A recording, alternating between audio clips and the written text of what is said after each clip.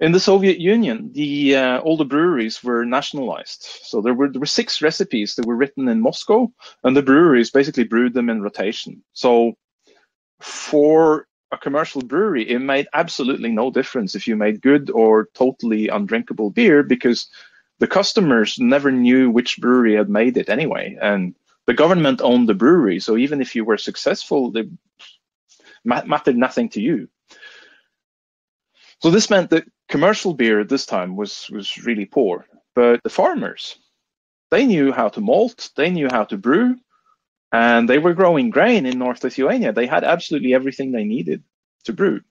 So they did. And in fact, uh, northern Lithuania became this kind of hotspot for getting illegal but good beer.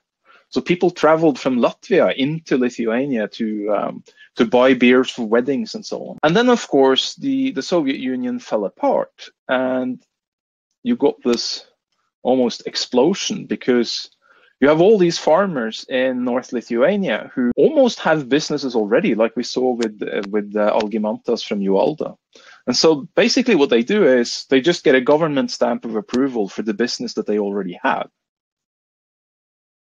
And within a few years, there's literally hundreds of breweries in North Lithuania brewing farmhouse ale in uh, wooden vessels. And the government doesn't actually like this. So one thing that they do is um, they enact a law that says it's illegal to brew in wood. But the Lithuanians basically have spent these 20 years in isolation coming up with their own ideas about what beer should be, basically.